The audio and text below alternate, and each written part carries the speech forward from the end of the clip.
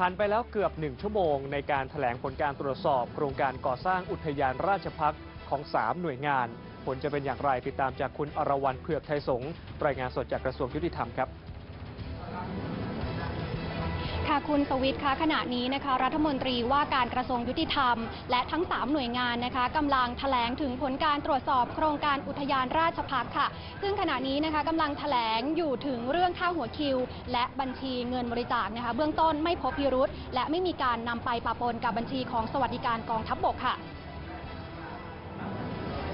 พลเอกภัยบูลย์คุ้มฉายารัฐมนตรีว่าการกระทรวงยุติธรรมในฐานะประธานคณะกรรมการศูนย์อำนวยการต่อต้านการทุจริตแห่งชาติ ร่วมแถลงกับเลขาธิการคณะกรรมการป้องกัน และปราบปรามทุจริตในภาครัฐหรือปปท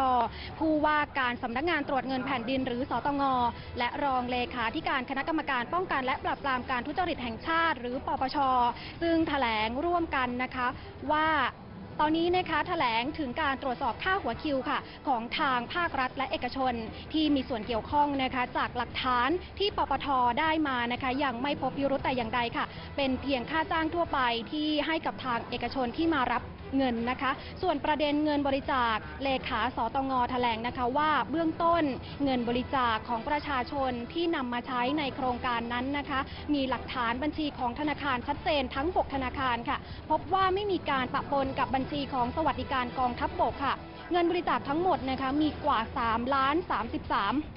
333 ล้านบาทเศษค่ะ ซึ่งขณะนี้นะคะเงินบริจาคคงเหลือ 140 ล้านบาทเศษ เงินบริจาคนำไปใช้มีหลักฐานชี้แจงชัดเจนทั้งหมดค่ะ ทั้งการจัดสร้างเหรียญและประเด็นสงสัยเรื่องโรงหล่อที่รับจัดสร้างพระรูปนะคะของเซียนพระชื่อดังด้วยค่ะ ก็มีหลักฐานชัดเจนค่ะ